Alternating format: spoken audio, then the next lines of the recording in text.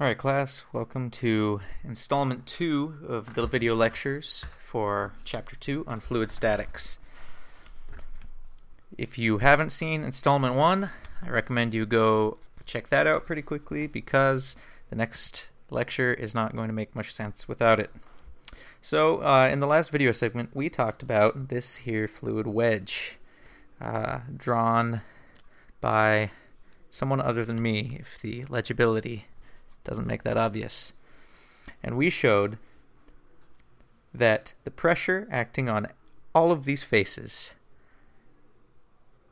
that is PS, oops, the pressure acting on each face is equal.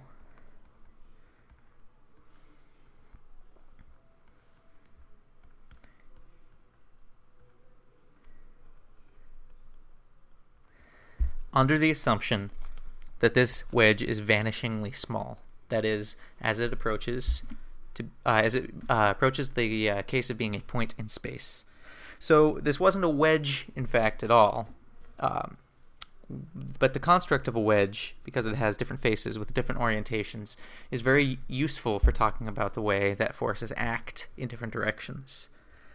So by showing that there's equality between the pressures acting on each face, uh, we concluded that pressure is, in fact, a scalar. So the next question that we asked ourselves, or that I asked you, and hopefully you asked yourselves, is how does the pressure vary within a fluid? If this wedge is represented by point A, how does the pressure at A compare to the pressure at B and the pressure at C?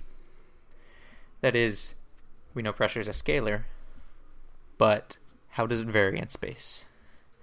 So let's go ahead and figure this out. Give me a moment to pull up my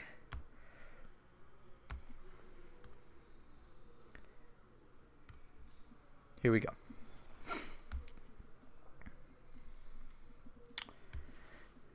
So for this oops all right. Now, in this case, um, because it's quite informative, I'm actually going to go through the process of drawing the volume fluid. And we're getting rid of the wedge. We don't need it anymore. We've already figured out that that angle theta doesn't make a difference in the pressure force acting on the angled face. So instead, we're going to trade that in for a cube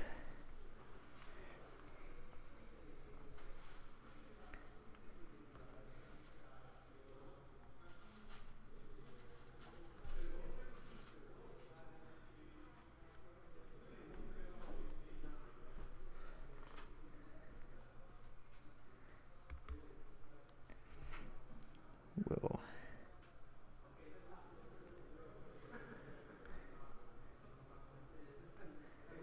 Okay, so here's our cube. Oriented along the x, y, and z axes. Okay, now um, remember that this has two types of forces acting on it. make this full screen. We have our surface forces, right? Acting on each face.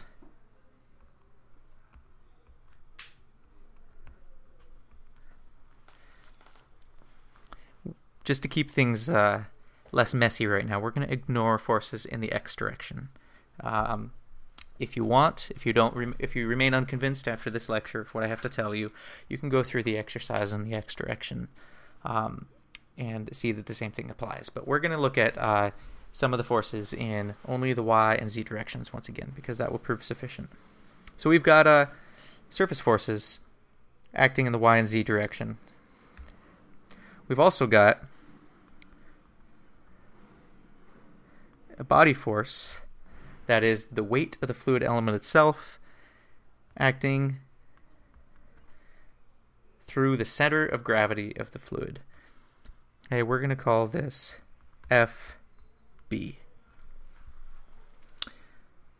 Now remember, I said that in most cases, the uh, the body force is induced by the gravitational field. That is, it's the weight of the fluid. Um, other cases may involve, for example, um, crazy strong um, intermolecular forces or magnetic fields if there were a ferrofluid or magnetic fluid, in which case you could have, um, you know, a giant magnet over here making the body force act this way. Uh, we're leaving the magnet out of it. But we're going to not assume that the body force is acting downward. Okay, we're going to put it at some uh, orientation.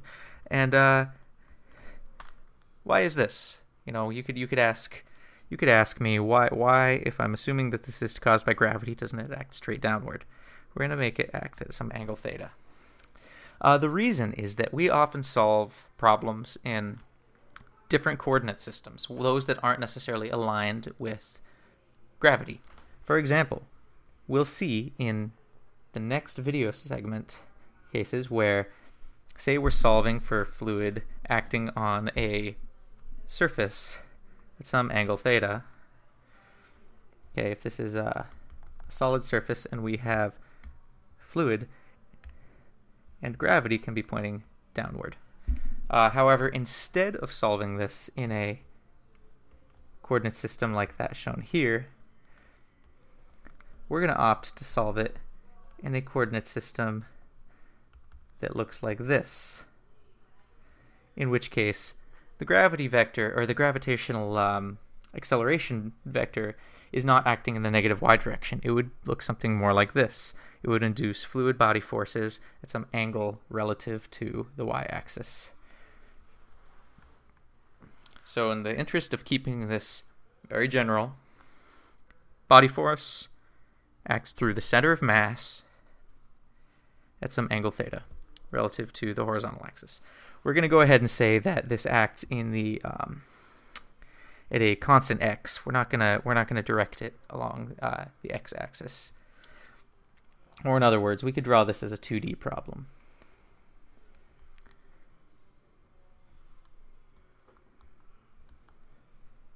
y, z. Here's our center of gravity. Oops.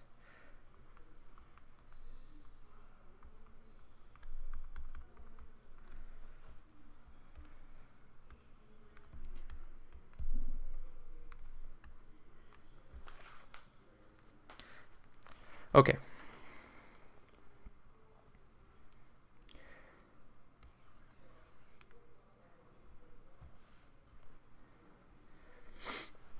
So we're going to go ahead and say that the pressure measured at the center of this element, that is at the same point drawn here as the center of gravity, is given by P naught or P0. In addition, we're going to go ahead and specify the lengths of the sides of this element as uh, delta y delta z, and of course delta x.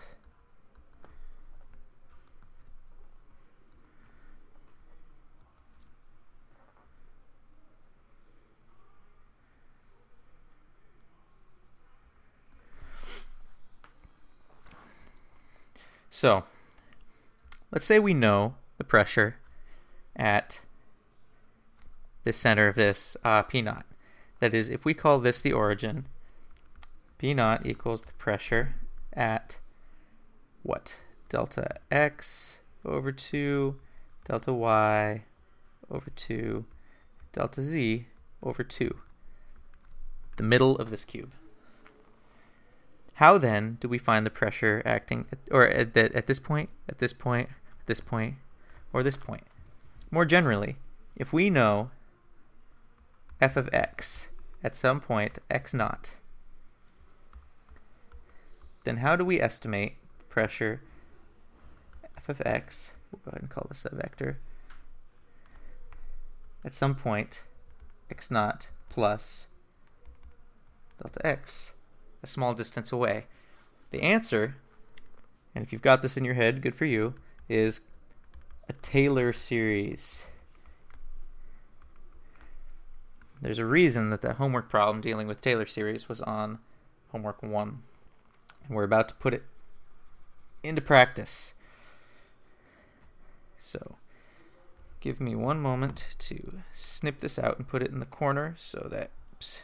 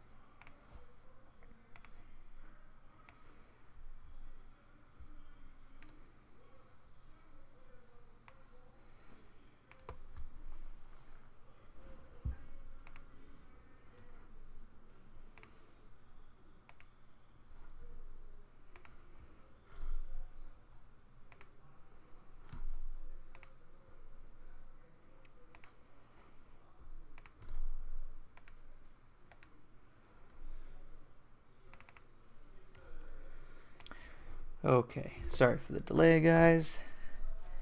Just making sure that we can keep an eye on the problem while we work through the equations of motion.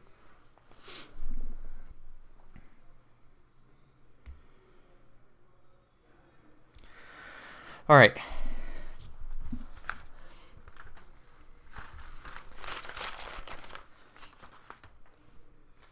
So I mentioned here that uh, we can use Taylor series to determine the um, a function at a point uh, where the function is not known, as long as that point is somewhat nearby a point where it is known.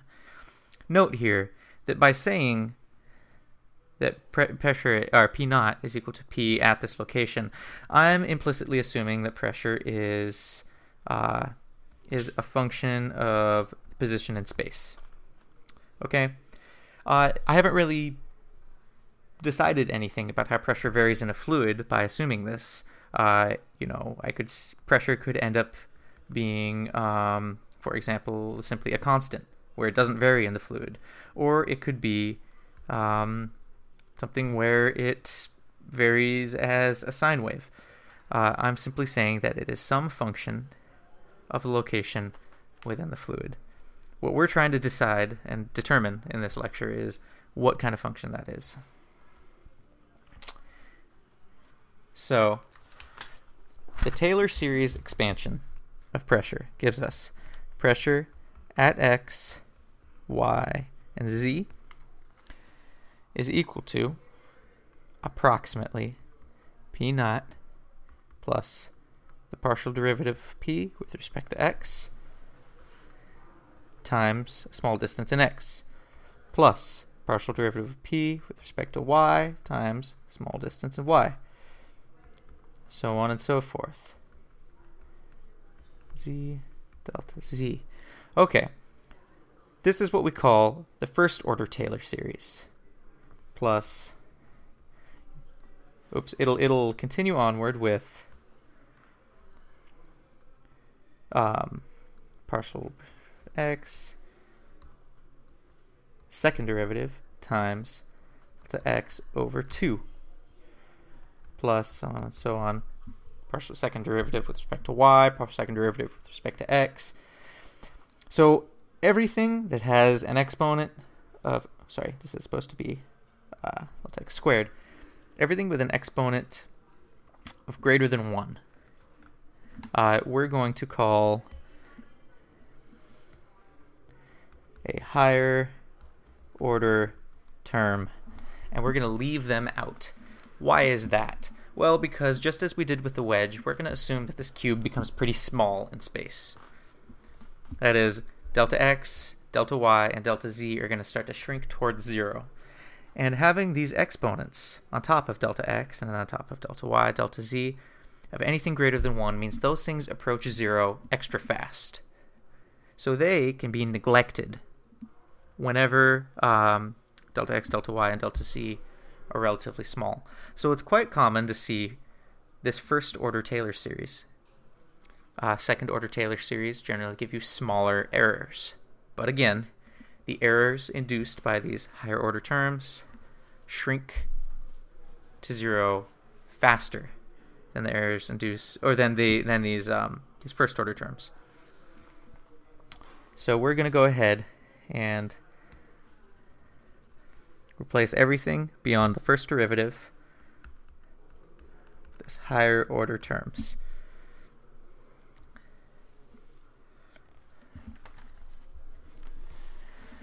So we can go ahead and come back to this uh, uh, this drawing of our cube now and populate what these pressures acting on the faces are approximately. That is, on this face, P naught plus delta y over 2 delta x delta z. On this face, P naught plus, um, sorry, this, that's not correct, dp dy times delta y over 2.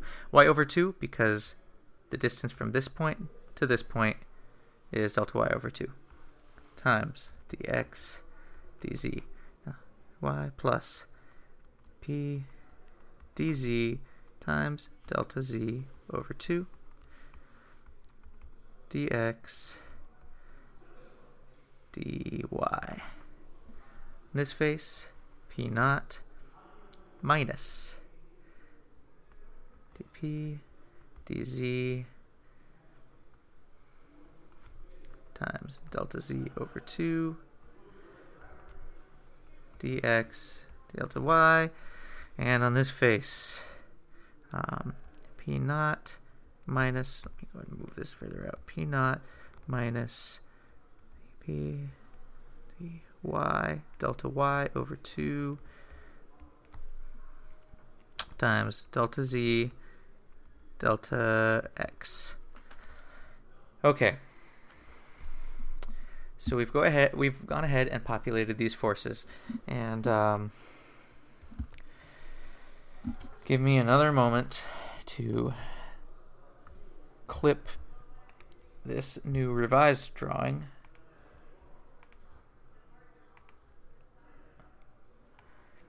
and stick it in the upper right corner where we can refer back to it.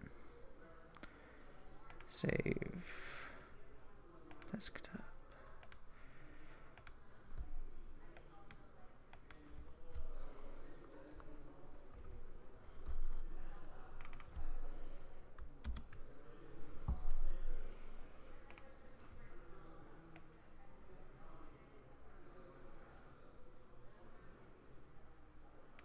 All right.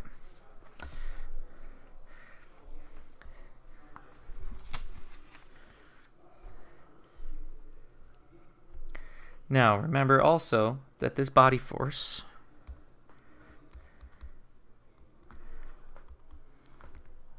is going to be equal to the mass of the fluid element, delta m, times what? The gravitational acceleration vector. Meaning FB is equal to rho of the fluid times delta x, delta y, delta z times g. So this, the direction of the gravitational field is what dictates the orientation of this body force vector. We're not going to write it into this figure up here. Uh, we'll simply um, substitute it in when the time comes. So before um, oops. Okay, now before we do the um, the sum of the forces in uh, each direction, let's go ahead and figure out what the resultant surface forces are caused by the pressures acting on each face. So we're going to go ahead and write this as, um, remember, in the y direction and the z direction. We're neglecting the x direction for right now. To fy is going to be equal to p naught minus px, oops, delta p delta y. Y over 2 times delta x delta z minus p naught plus partial p partial y delta y over 2 delta x delta z which is equal to what? This cancels, this cancels, and we end up with negative delta p, or sorry, negative partial p, partial y, delta x, delta y, delta z. Right? Okay, how about the z direction? Delta f z is going to be equal to p naught minus partial p partial z delta z over 2 delta x delta y minus p naught plus partial p partial z delta z over 2 delta x delta y. It's going to be equal to, once again, we have a cancellation of pressure at the center of the element. These two add up. And by adding them up, we get rid of this 2 in the denominator and end up with partial p, partial z, negative delta x, delta y, delta z. And so by extension, we're going to go ahead and uh, just write it in here, but um, that the force, surface force in the x direction would be equal to negative partial p, partial z, um, x, delta x, delta y, delta z. So we have here the three components of the surface forces acting on the cube. Right? So let's go ahead and write this as a force vector, specifically a surface force vector, which is equal to surface force vector equal to delta fxi plus delta f y j plus delta f z k. Or, if we substitute the values for each of these in, we end up with negative partial p partial x i plus negative partial p partial y j plus negative partial p partial z k all times delta x, delta y, delta z. Note we've just factored out the delta y, delta x, delta y, delta z terms from each of these. Now recognize from your uh, your calculus days that we have here what is called a gradient operator. And you should have also had some practice with a gradient operator in homework 1, where the gradient operator times f is equal to, or, well, let's go ahead and call it what it is. Gradient times p, that is a scalar function, p, is equal to dp dx i plus partial p partial y j plus partial p partial z k. So we're recognizing that that's what the gradient operator is. We know that this, everything contained in the parentheses here is equal to negative grad p. Meaning, we can write the surface force vector in a very compact way by saying fs as a vector is equal to negative grad p times delta x, delta y, delta z. Is a pretty nifty uh, way to boil down all of this into this short little statement.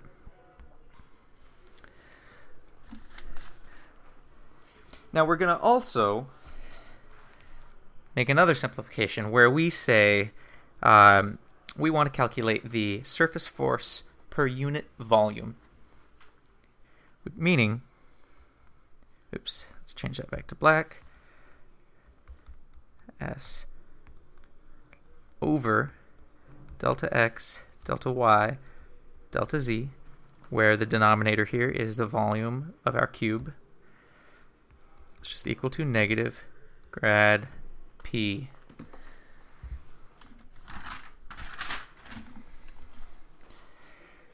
Again, recall the body force. This little guy acting through the center of mass. FB. I know it's not written as uh, this way in the image in the upper right, but we're going to go ahead and call it delta FB because, again, it's small. All right? This is equal to rho delta x, delta y, delta z times the gravity gravitational vector, just as we showed here. I'll go ahead and add the deltas in front of that. Now say we want to calculate the body force per unit volume. Well, that's easy enough. Delta FB per unit volume simply equal, equal to rho times the gravitational vector. Now we're going to go ahead and uh, recognize oops, that these quantities in the boxes exist. Let's remember those, put them in our back pockets. We're going to come back to them. But in the meantime, let's go back to our sum of the forces on this cube that's in the upper right. So, sum of the forces in the x direction is equal to acceleration in x times delta m. Sum of the forces in the y direction, acceleration in y times delta m. And acceleration in the z direction is equal to acceleration z times big surprise delta m. Since we're on a kick of putting things into vector form, let's do the same here. This means that sum of the vector forces is equal to the acceleration vector times delta m. We have the x component, the y component, and the z component. We're simply grouping them together using vector notation. Okay. So if we write it this way, we have sum of the force vector is equal to what? Delta surface forces plus delta body forces is equal to mass times the acceleration vector. Now, um, remember that we expressed all of these uh, per unit volume. The surface forces here, and the body forces here. So let's go ahead and re-express that um, in this latest equation. Um, sum of the forces per unit volume gives us delta Fs over unit volume, which is negative grad P let me make sure I'm doing this correctly. Plus sum of uh, the body forces per unit volume, which is simply equal to rho g is equal to the mass per unit volume, which I shouldn't have to derive for you because that's the definition of density, times the acceleration field. This gives us a very important equation rho g equals rho acceleration A. I'm going to put several colorful boxes around this because it is such a fundamental equation. Okay. This is the equation of motion for a fluid that doesn't have shear stress acting on it. That's it. Very, very useful thing to know. So, um, in the case, the very simple case, where, let's say, I've decided to be nice to you and I've given you a homework problem where here's x, here's y, and gravity just happens to be pointing downward that day along the y-axis. This means that g is simply equal to negative, uh, we'll, we'll say the, um, the magnitude, the gravitational acceleration magnitude times j. So you'd simply plug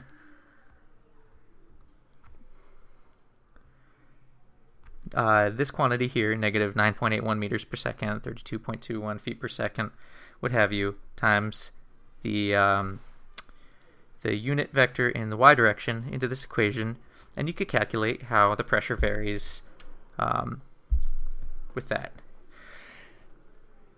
To take it in the other direction and make it even more general, remember I talked about how things besides gravity can induce body forces, things like magnetic fields. Let's go ahead and write it as negative delta or grad p plus the um, we'll go ahead and make the body force per unit volume a lowercase f equal to rho acceleration. So this is the body force per unit volume. This also gets a box.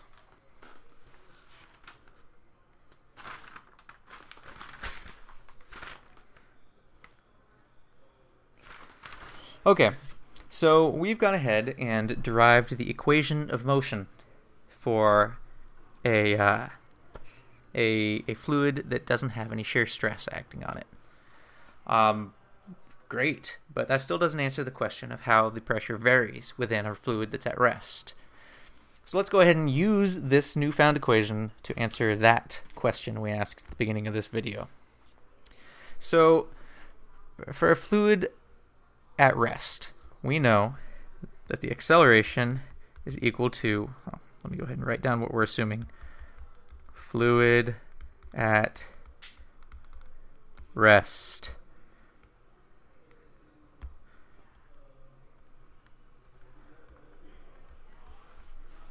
Okay? We know that the acceleration vector is equal to what?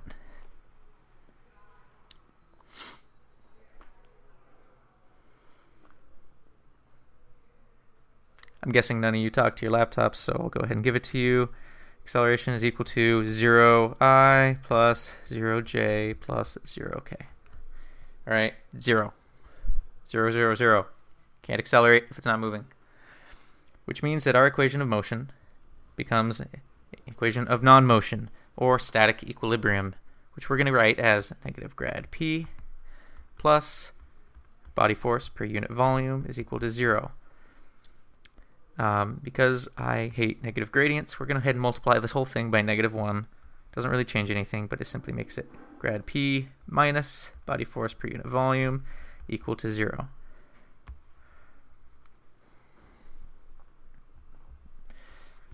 So I know we just went all vector happy and condensed everything we wrote into vector notation, but let's go ahead and split this back apart into its component elements.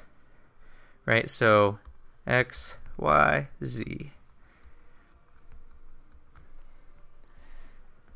This means that partial p, partial x, minus the x component of the body force is equal to 0. Partial p partial y minus body force in the y direction equal to 0 and partial p partial z minus body force in the z direction is equal to 0. Great. What does this tell us?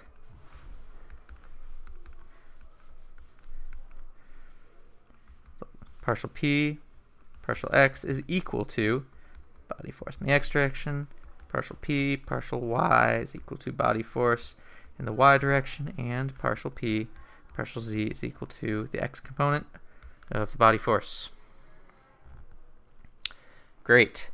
So, um, again, in the case where the only body force is due to gravity and the gravity tends to be um, directed along some vector here, we could write this instead as dp dx is equal to what? Rho gravity component in the x direction. Partial p partial x is equal to rho gravity component in the y direction.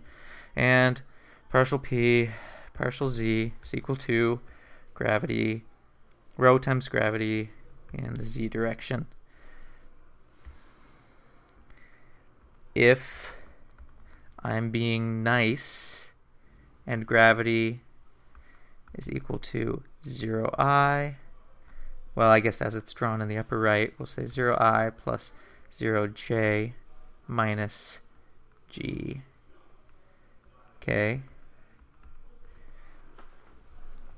Then we'd end up with equal to 0, equal to 0, equal to negative whatever the magnitude of gravity is, 9.81 meters per second squared. Okay? Hopefully you're all following. If not, uh, feel free to ask questions about this stuff when I get back. All right. So as a uh, as a check on what we've done so far, what did this preceding derivation tell us? Um, well, we know that the pressure acting on a body, uh, the pressures acting on a body exert forces on the faces of that body. We also know that particles experience forces through their mass centers due to their gravity, that is, the weight of the fluid uh, volumes themselves, and possibly other less common effects like gravitational or like um, uh, Coriolis effects or magnetic fields. Uh, they also so the the pressure forces are those acting on the surface of the body, those shown in red up here, and the body forces are those which push and pull on the mass of the fluid itself, uh, which are shown as the black vector here, delta FB. Okay, Newton's second law, F equals ma, tells us unless the particle or volume, the particle or volume that we're considering is moving, the forces acting on it must balance out. That's why we set a equals zero and uh, solved these equations here. So in order for forces to balance, the pressures in the field must change continuously in one or more directions at a rate equal to the component of the body force in that direction. That's what we're showing here. Okay? the rate of change of the pressure in the x direction is equal to the body force per unit volume, that component along the x-axis. It's because if the force is pointing this direction along the x-axis, the pressure has to increase continuously along the x-axis in order to continue, counteract that body force in every single fluid element to keep the fluid from moving. All right, so let's go back to that tank of water with which we started the lecture.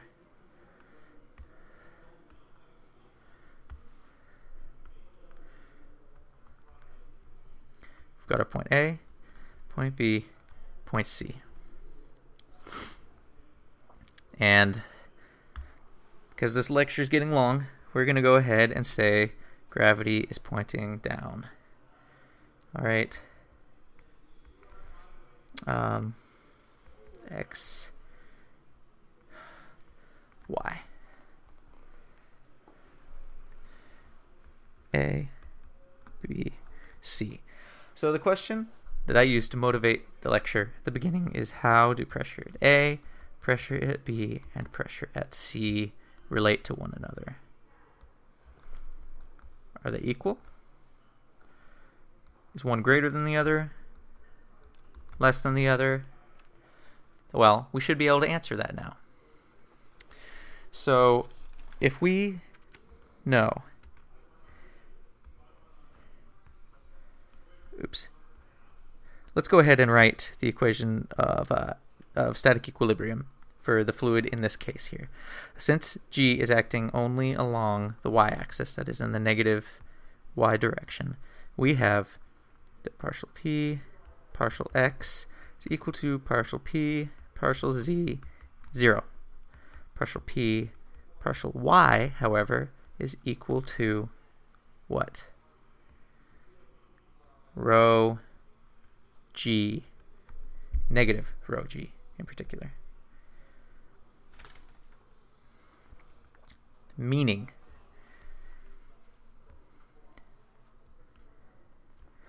if we know the pressure at point A, we know also that it has to increase along the negative y direction at a rate equal to rho g.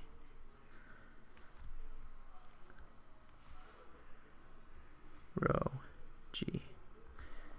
That is, the pressure at A increases with a slope rho g as we move deeper along the y-axis, meaning that the pressure at B must be greater than the pressure at A. Now how about B compared to C? Note, they are at the same position on the y-axis. They are, however, separated by some distance um, along the x-axis. We already showed that because gravity is only acting downward, partial p, partial x is zero. That is, the pressure does not vary along the x-axis, only along the y-axis. So because B and C are at the same y position, P, B is equal to pressure at C.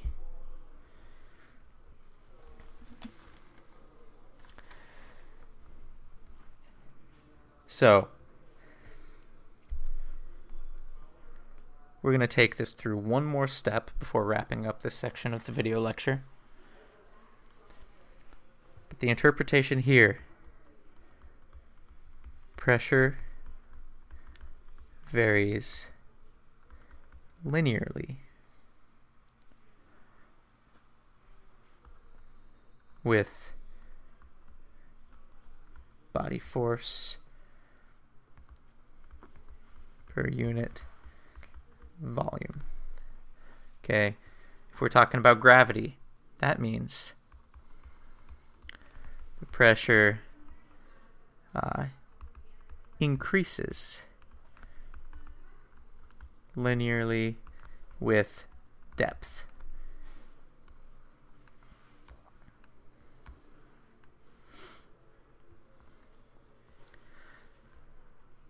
We can say that if we know a pressure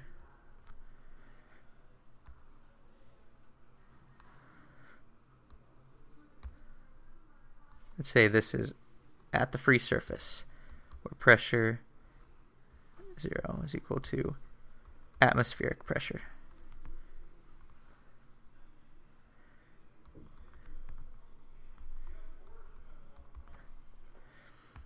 And this is B. X, Y.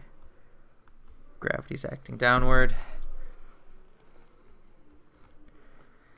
If we want to find the pressure at B, we can write pressure at B is equal to what? Pressure at A plus the integral from um, ya to yb partial p partial y times the y. We know that the rate of change of p only occurs in the y direction and that it's equal to partial p partial y. So it should be no of no surprise um, that in order to find the pressure at pressure partial at point B, we simply integrate that rate of change over the distance over which it's changing. Simple as that. Um, now we know also that partial p partial y is equal, equal to negative uh, rho g. So rho g is, um, for the purposes of this lecture, assumed to be constant. Note, we are assuming the density is constant in this fluid. That is not always the case. Certainly, when you get out into the open ocean where the temperature varies with depth, your density can change with depth. And uh, I'd also like to point out that in your books, um, it incorrectly specifies that the definition of an incompressible fluid is one in which the density is constant. This is not correct. That is the definition of a of a um, homogeneous incompressible fluid, as where the fluid is everywhere the same in general, the definition of an incompressible fluid is that what we call the material derivative is equal to zero. And we're going to get into this in the differential flow analysis of, I believe, chapter 4. But for now, I know I'm throwing out a lot of things, telling you your book is wrong and whatnot. Um, we're going to assume that the density in this tank of water is constant. It means it's everywhere it's the same. So we're going to move this to the outside of the integral, right? PB is equal to PA minus rho g integral from YA to YB to Y. This part here should simply be YB minus YA. So PB is equal to PA plus rho G YB minus YA. We're going to go ahead and call the distance between these H. Okay? Is equal to YB minus YA. P B. Oh, sorry. This is um this should be the other way around. YA minus Y B. H is a positive value here. This is supposed to be a negative. I got ahead of myself. So PB is equal to PA plus rho GH. Important. We'll be using this a lot in the next lecture. We can also say that H is equal to PB minus PA over rho G. And this is the last thing I'm going to tell you, I promise. This is what we call pressure head. Okay, for a fluid of known density, H tells us how high a column of liquid is required to induce the pressure difference that's in the numerator. So we'll get into this more in the next lecture. But in this lecture, we have covered quite a bit. Uh, we addressed the question of how pressure varies within a fluid. Oops. We, uh, by analyzing this differential element of a fluid, we derived the equations of motion for a str- uh, shear stress free fluid. We turned that into the equation of static equilibrium, or the equations in each component direction of static equilibrium for that stress free fluid. And then we used that to show that pressure varies linearly in opposition to the body force per unit volume. Finally, finishing up by saying the pressure increases linearly with depth under the effect of gravity.